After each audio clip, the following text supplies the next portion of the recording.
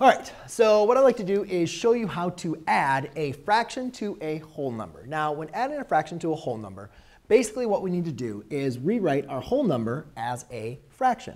Um, therefore, remember, to notice by just dividing by 1 or just rewriting 8 over 1, you still have 8, right? So we didn't change anything. Um, but now, when we want to add our fraction now, right, we change our whole number to a fraction, to another fraction, we have to make sure we have common denominators. And you can see our denominators are not the same. This is a 1, that's a 3. So we need to get to them to be the same denominator, which is what we would say common denominators. Um, and so what we do to identify the common denominators, we're looking for the common multiples. And again, you can think about that by just by counting by ones. That's supposed to be a 3. 3, 4, 5, 6, and then counting by threes. 3, 6, 9, 12. These are the multiples of 1. Those are the multiples of 3. And what we see is the smallest common number multiple, or the least common multiple, is 3. So what we want to do is make sure that both of our denominators are 3. Now this denominator is already 3, so there's nothing we need to do there. But here we need to get this to be 3. So there's really two ways we can look at this. We could add 2 to it, or we could multiply by 3. Well, the correct operation is going to be multiplication because what that's going to do is that's going to produce an equivalent fraction only if we also multiply by 3 up top, right? Because again, just real quick, I'll show you, when we multiply now 3 times 8, that's 24, over 3 times 1 is going to be 3.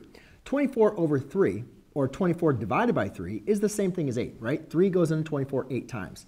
Now, let's just pretend that we added 2 instead. So therefore, let's say we added 2 in the top and the bottom. So therefore, we'd have 10 thirds.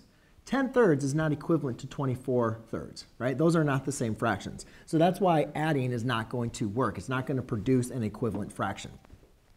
So we're going to multiply by 3 over 3. And now, we don't need to do anything to that fraction. Now we have the common denominators. And now we can just apply our operation to our numerator. So basically, we're just going to add 24 plus 4 over 3. 24 plus 4 is 28 over 3. Now, the next thing we'd want to do is go ahead and see if we need to um, rewrite this as a mixed number. I prefer to leave it as an improper fraction. However, for some classes or teachers or tests and quizzes or whatever, might need to go ahead and rewrite this as an improper fraction. So to do that, you're going to say how many times does 3 evenly divide into 28? Well, 3 goes into there. 3 times 9 is 27, and 20, 28 minus 27 is 1. So that means as a fraction, we could write this as it goes in there seven whole times, right? Three goes into seven, not seven whole times. It definitely goes in there seven. We can say it goes in there nine times, and with a remainder of one. So really, nine and one thirds is equivalent to 28 thirds. So there you go, ladies and gentlemen. That is how you add a whole number to a fraction. Cheers.